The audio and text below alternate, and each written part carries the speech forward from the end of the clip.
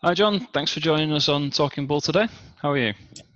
Yeah, I'm good, thanks. Yeah, uh, managing through the lockdown and everything, so we're coping. The lockdown we now find ourselves in again. Yeah, Um, yeah.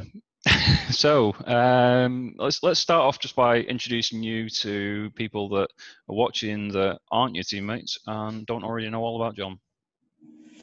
Okay, well, uh, I'm John Caunce. I am currently chairman of the the Bulls, and um, I've been a teacher for 16 years. Uh, recently changed to uh, to do project management, and uh, I don't know. I've, I have been called the joker of the team, but I'll try not to. now, project management and teaching probably goes hand in hand. I Yes, imagine does, uh, if, if my experience in that sort of industry is anything to go off, just telling people Yeah. what to do, really. And Yeah, pretty much, which is uh, which is all about teaching. So yeah, it's, and that's a perfect thing for you, telling people what to do. Uh, so, uh, how did you get into wheelchair basketball, and uh, what made you decide to join the Bulls over any other local team? Uh, well, basically, uh, I was shopping um, down in Bury, and there was a guy in a wheelchair that I liked the look of, and I was looking for a new wheelchair, so I, I just went over and had a chat. Was it him you Um, liked the look of, or the wheelchair? Uh, the the wheelchair, yeah, Just checking. definitely not him. so, uh, and it and it turned out that basically he was um, he's the secretary of, uh, of the Bulls, and uh, he mentioned about the, the the training sessions and stuff like that.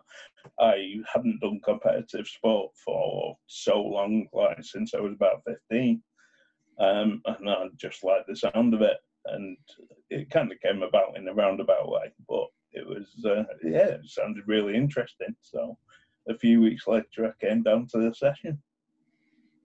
And we didn't scare you away.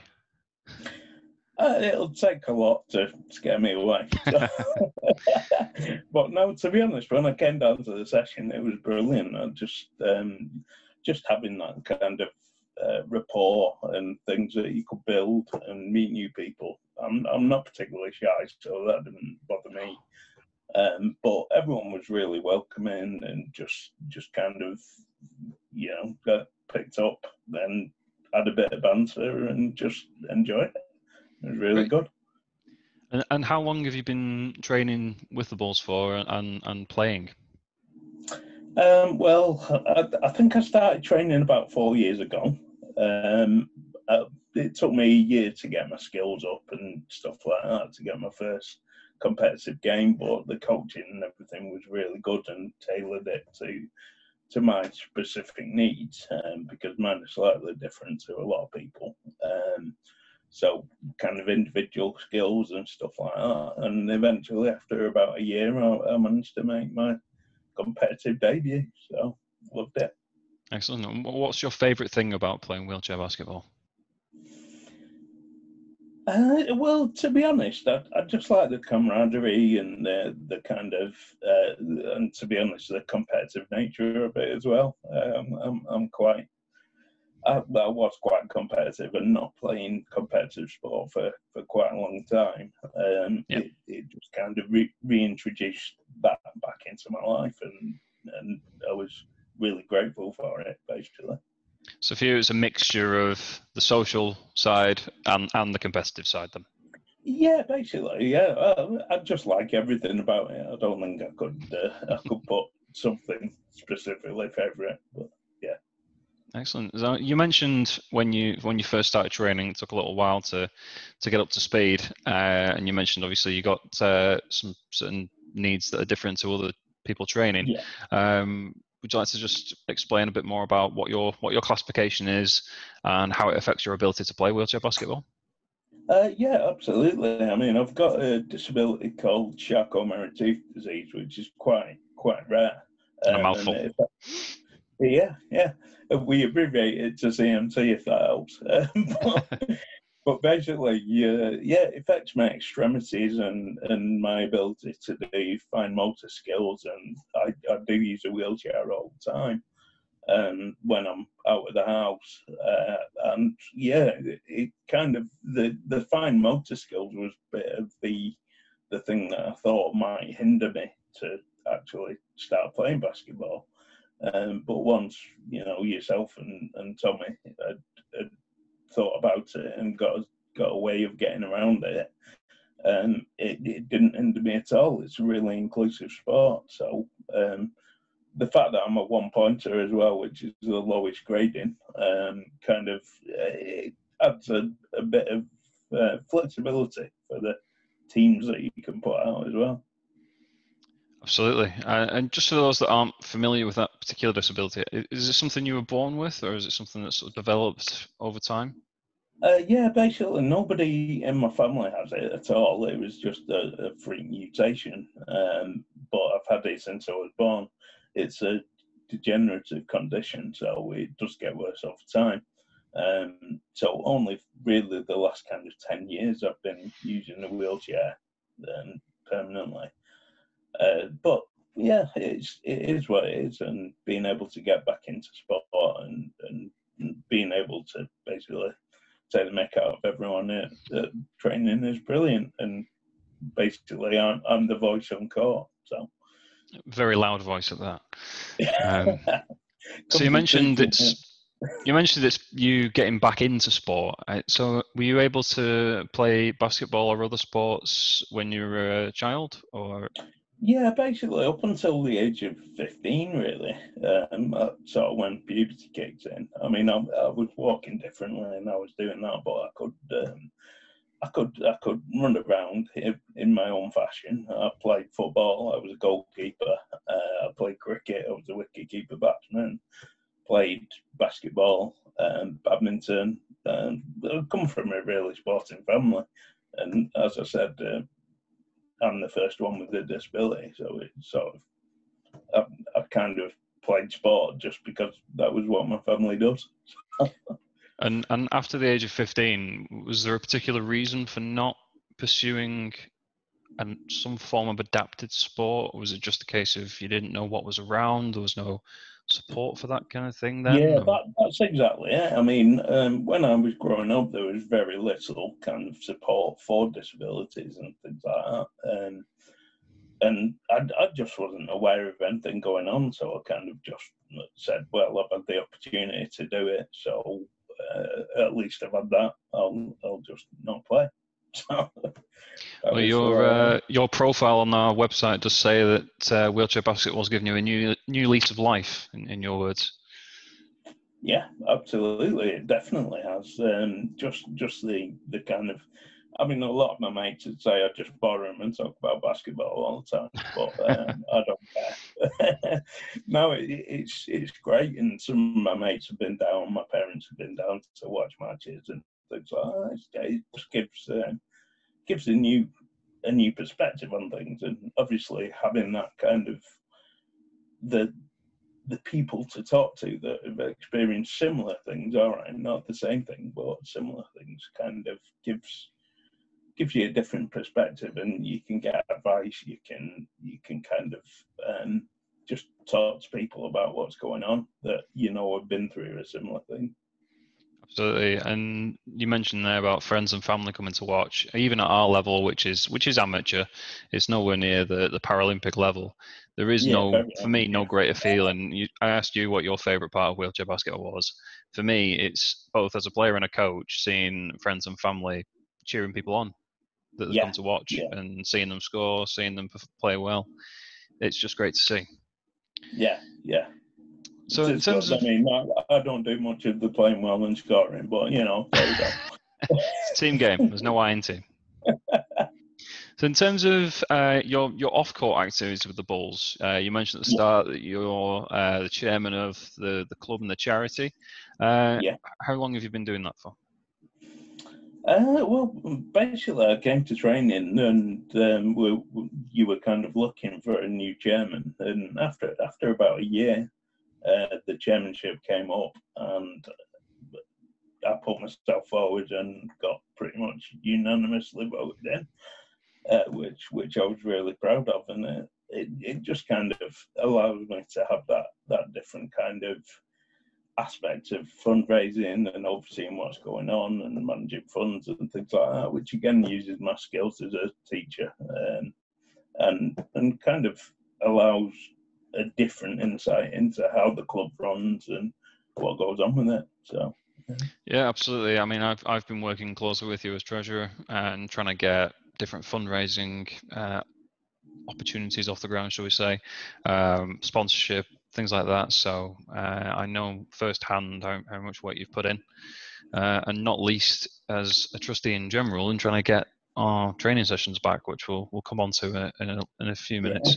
Yeah. Um, but just just keeping on the subject of wheelchair basketball in general, um, obviously not been in the sport too long, but you might be aware of you know some top level uh, wheelchair basketball players or just disability sport athletes in general. Are there any that you particularly look up to or feel inspired by at all? Well, a lot of it is I've I've just seen the increased coverage of of the kind of disability sports in general. So the Paralympics being on Channel Four and uh, the GB games being streamed and things. So, um, I, like I said, I wasn't really aware of it, but I've, mm. any opportunity I've had, I've, I've kind of looked at the GB team and I've seen both the men and the women's, um, and it, yeah, it's just it's inspirational, really. Uh, obviously, I'm never going to get to that level, but it is good to see people are able to do that, and the fact that even if you're able-bodied, you've still got access to to seeing that sport. So really, it's just the the kind of GB team that I look up to. Um, not that I want to be there, you know, just just that it's kind of that that level and and the level that people can get to is amazing. I'm going to digress a little bit, but in terms of not getting there, whether as a player or not, you, there's always the opportunity to go down a different route to get there, such as coaching or another part of the the backroom team. So the GB isn't just the players. Uh, so I think yeah. it's the whole setup that's been particularly inspiring in what they've done over the last few years. The the both on court and off the court, uh, they've they've raised quite a lot of awareness and. Be, Channel 4 has been a bit of a game changer as well, with uh, having things like the last leg um, closely following the Paralympics uh, a couple of years ago. So I, th- I, I agree. I think the whole uh, increased coverage uh, has been has been great for wheelchair basketball and disability sport in general. Yes, yeah, definitely. It's uh, it's certainly changed in the last few years from what I've seen. So yeah, absolutely. So just coming back to the you know our return to training. Um, obviously, we had the the coronavirus pandemic lockdown earlier this year. Uh, we seem to find ourselves potentially crawling back towards another one. Um, but at the minute, we are technically still allowed to do some form of limited training. But how how did the, how did you find the the period of time where we were completely unable to train, which was from around mid March until the end of July? I found it difficult to be honest because you you're so used to training with people once a week and keeping your fitness up and managing to to have that social interaction action and keep your uh, mental health where it should be. Um, I found it difficult, um, but obviously being part of the team that that kind of put together the training sessions around the COVID government guidelines and things like that, that's quite fulfilling to to know that we can put some form of training in place because mental health is a big issue around disability. Absolutely, and it is refreshing that the government have put that exception in place to allow disability sports to continue, and acknowledging that there is that increased, uh, you know, risk for isolation with people with disabilities not being able to access competitive sport yeah. or even recreational I, sport. I think it took a while to kind of realise that that was the case, but once once the advisors had, had come up with that, then yeah, it's very refreshing to, to see that. Absolutely. I mentioned uh, our efforts as trustees and a committee to uh, putting our return to training uh, policies and plans in place. Um, do you want to just talk a little bit more about your involvement with that? Uh, yeah, well, basically, the committee, what what we uh, what we wanted to do is kind of be pioneers in in being able to return to training. Um, with us not being affiliated with BWB, we didn't necessarily have to follow their guidelines, um, and I think actually we we kind of came out ahead of BWB and that managed to put our training plans together. And it started off well, it still is 100% socially distanced and within government guidelines. Um, as a committee, we put our heads together and tried to thrash out any potential problems and any kind of issues that come with training, sharing balls, things like that. So, a lot of our training is fitness based, but the point is that you're still together with your teammates, even though you are further away than you normally would be. Absolutely. And from the angle of coaching, it's been very challenging to say the least, trying to put sessions together where yeah. the focus is on the individual rather than the team.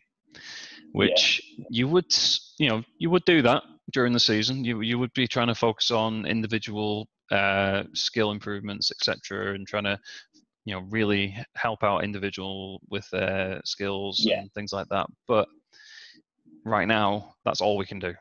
all we can yeah. do is individual skills and individual fitness. There's no team games, there's no technical things, working on set yeah. plays or anything like that, because we mm. just can't get within two meters of each other. Um, I, I do think though that um, the uh, taking the opportunity to actually for new players getting to know the rules and getting to know the the actual game and the technical ins and outs of it. And I think that's useful as well, because mainly training has been focused on set plays and scrimmaging and things like that, which is great. Um, but kind of the assumption that people knew the rules and knew what was going on um, is, is possibly a weakness of, of certainly mine as a coach um, and and you know of, of the club and other clubs in general. Um, so taking that time to actually get to know the rules and what is a foul, things like that, is is useful. Yeah, it's definitely going to be a focus of our sessions moving forwards. Um, trying trying to find that extra time.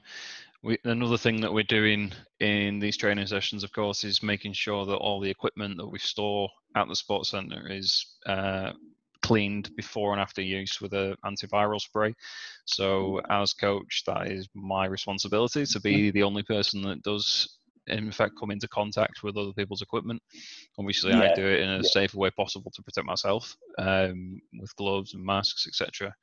Um, but you know, we we have to clean it afterwards as well, just just to yeah. you know, we, we've got to keep the sports centre stuff uh, safe as well. So with the way that we store our chairs, in theory, they could come into contact with them, move them around the, the storage cupboard, etc. Yeah, so yeah. we have to keep a lot of things in mind. It's not just our players. Of, a lot of avenues that need to be covered, really, and that was the beauty of having the, the whole committee do it. Nothing was missed, hopefully.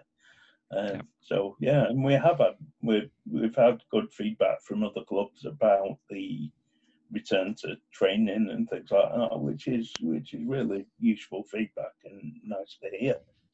Absolutely, and I think a lot of clubs are, are still having to follow the BWB's guidance, which is completely understandable um, as members because without do, you know without doing that, you you risk voiding your insurance that you get as a member. Um, whereas we've got our own insurance as a club, and uh, I don't think our plan is drastically sim- uh, too far away from uh, BWB's plan at all, really. Uh, when you look into the detail of what they're proposing, they've just started off with um, outdoor training, which we did look at.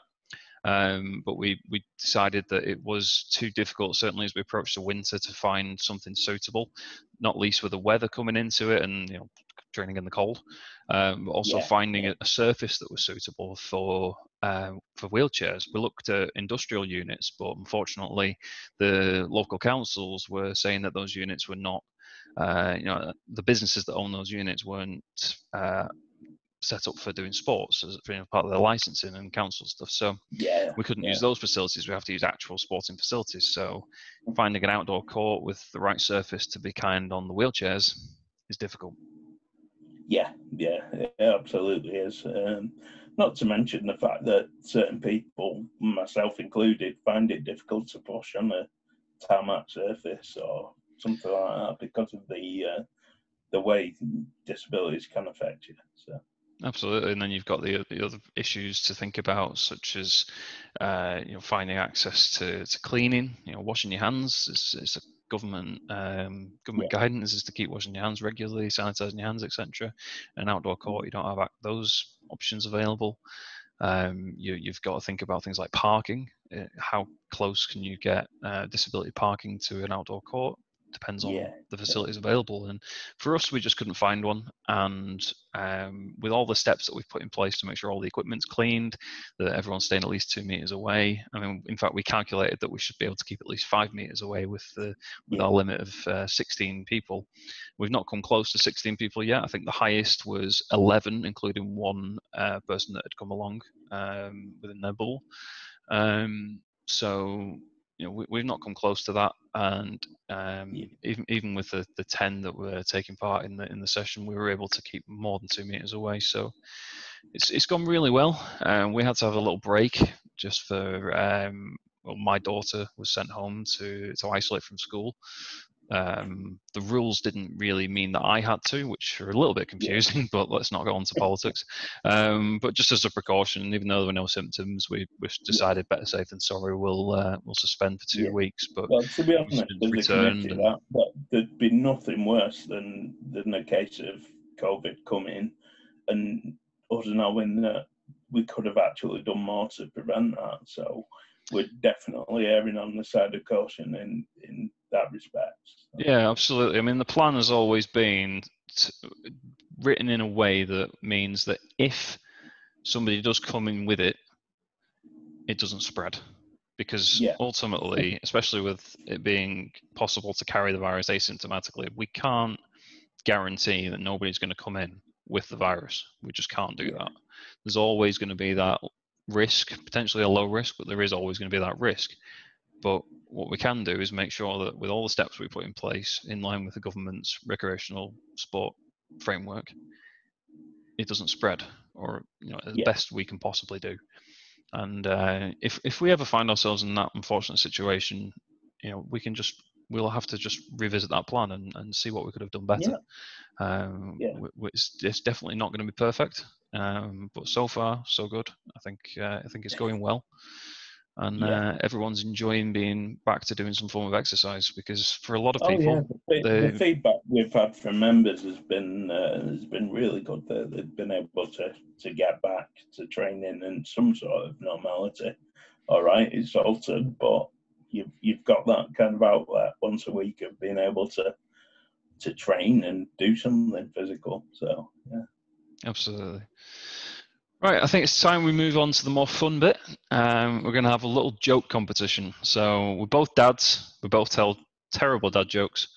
Uh, time to find out who's got the worst ones and can make the other one laugh. So the way we're going to run it is we've got 10 jokes each. I'll let you start first and we'll alternate. Oh, and oh, try and keep a straight face. And if okay. you don't, then uh, well, sorry, if I'm telling you a joke and you don't keep a straight face, I get a point, and we'll see who wins okay. at the end of it.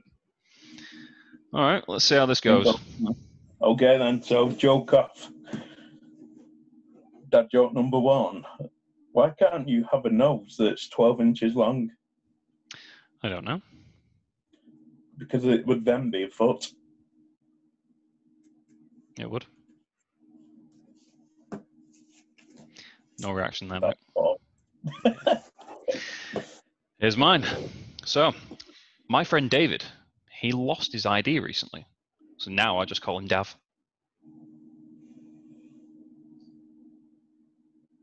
No, I'm not getting one there, am I? No, just a shake of the head. Fair enough. okay. Have you heard the rumor about going around? Yeah, sorry. Have you heard the rumor going around about butter? Uh, no, I haven't. No, never mind. I shouldn't spread it. No. No laughs there, mate. Sorry.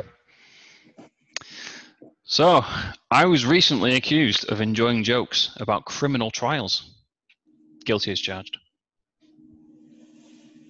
God, yeah, you got a bit of a grin there. I'll give you that one. There we go. I'll have a point. I'll have a point. okay, want to hear a joke about construction? Yeah, I'm please still do. working on it. Uh, you've got one there. You've got one. You've got one. I'll let you have that one. Ah, dear. Okay. You shouldn't have laughed at that. No, I really shouldn't. I was. Uh, I think I was expecting a different thing, and then yeah, you Yeah, just got you yeah. caught me. You caught me. okay, number three then. I woke up this morning and I forgot which side the sun rises from, and then it dawned on me. That's He's fighting poor. it. He's fighting it. That is poor. no, no, that was just poor. my natural, uh, my natural look is smiling, so I've got to try and avoid that. Yeah. Okay, my my joke then. Uh, did you hear about the restaurant on the moon? No. Uh, great food, but no atmosphere. Oh, I'll avoid it then. I would. Next one then. There's a fine line. You'll know this as a, as a maths teacher. There's a fine line between a numerator and a denominator, but only a fraction of people will get that joke.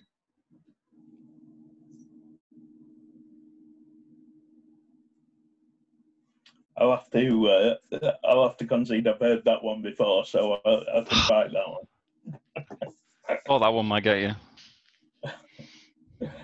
Okay, so what did the buffalo say to her son when he left for school? I don't know. Bye, son. Yeah, heard that one before, I'm afraid. Yeah, exactly. Did you know that you can never hear a psychiatrist using the bathroom? The P is silent. I'll give you that one. Boom. Got one.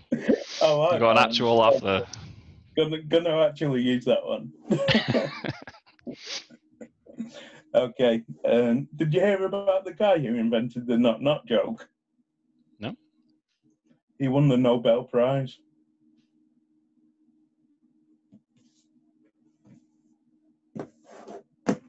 Definitely keeping a straight face on that one. Yeah. yeah. So, some people say that they pick their nose. I was just born with mine. Definite dad joke, that one. That's definitely a dad joke, yeah. Yeah, yeah.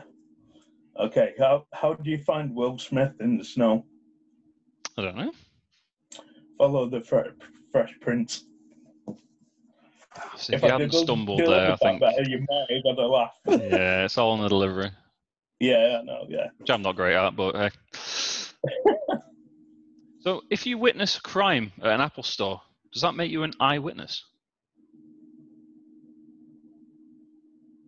No, I've been that. No, No. No. no, no laugh there. okay, did you know that the first French fries weren't really cooked in France? Would they not? W- no, they were cooked in Greece. Makes sense.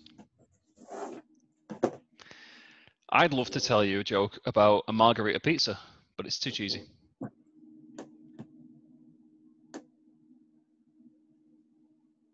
Yeah, Damn. you're not getting a laugh for that one, mate. I thought I'd get one there. I thought I'd get one. Uh, no. okay, uh, what is ET short for? Go on. Because he's only got little legs. He has. Come on, you you got. Yeah, you've got a little grin there. You've got a little grin. I've heard it before, but it's a classic. Oh, damn it. That's 2 2 by my maths. It says, yeah. Quick maths. The, did you hear that the world tongue twister champion got, just got arrested? I hear No, they're I giving him a really tough sentence.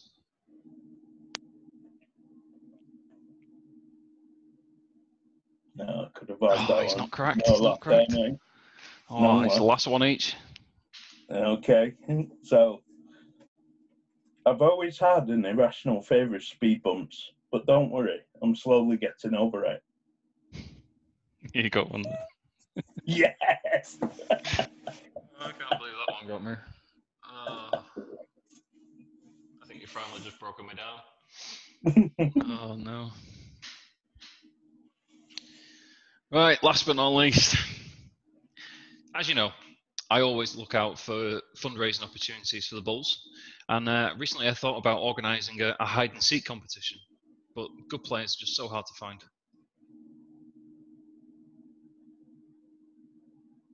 No, no, I did not. Oh, Victory! God damn it. I'll, let, I'll let you have that one.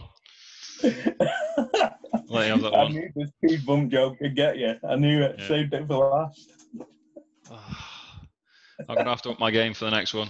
Definitely. You are. Yeah, is it Steve next? Yeah, it's going to be Steve next. Um, Oh.